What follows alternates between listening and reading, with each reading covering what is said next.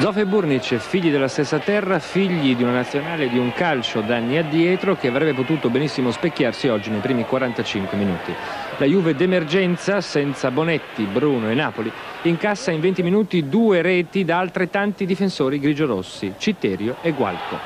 Il libero accarezza di testa il corner di Chiorri al settimo minuto il tempo di, in uno stadio dal tifo contrastato, riportare la rabbia di Schillaci ed ecco che Chiorri, De Zotti e Gualco, controllore di Barros, confezionano al diciannovesimo una rete d'applausi, la numero 18 subita in 14 partite dalla Juventus, una rete da giramenti di pallone, come dice fuori microfono Tacconi. E Zoff sottoscrive?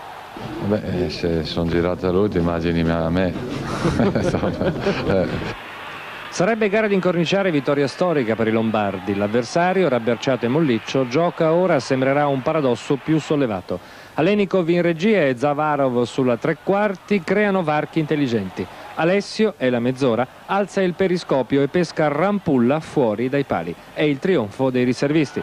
Quattro minuti più tardi il trio di Agostini, Zavarov, Schillaci fa sorridere Zoff ed il nucleo del tifo bianconero.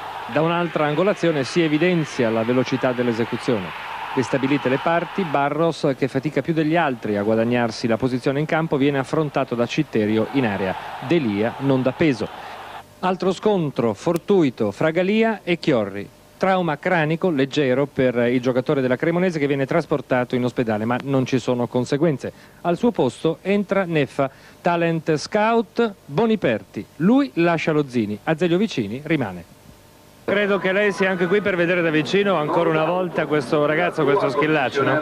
Ma questo lo dite sempre voi altri, io sono qui per vedere le partite dove ci sono molti giocatori bravi, dove c'è anche schillacci, ma non è che una partita nel bene o nel male sposta dei giudizi su dei giocatori. Oggi è arrivata a Roma la Coppa del Mondo.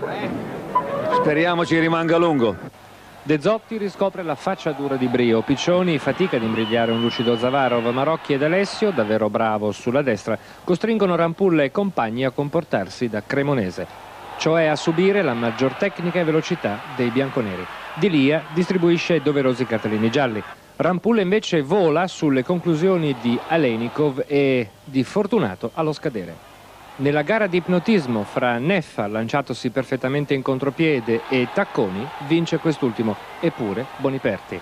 Ma andate a leggere sul sorriso di Rampulla, perché a Cremona tutto è bene quel che finisce. Noi qui siamo in un'oasi di tranquillità e qualsiasi risultato viene preso con, come, come viene.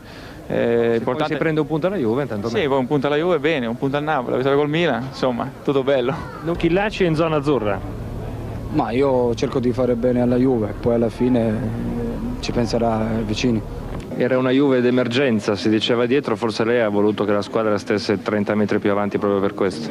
Ma no, diciamo noi avevamo alcune assenze dietro, questo è vero, però la squadra insomma, si muove sempre su questi binari. Ecco, direi. Mercoledì vi attende questo impegno europeo, è tranquillo alla luce di quanto è successo oggi?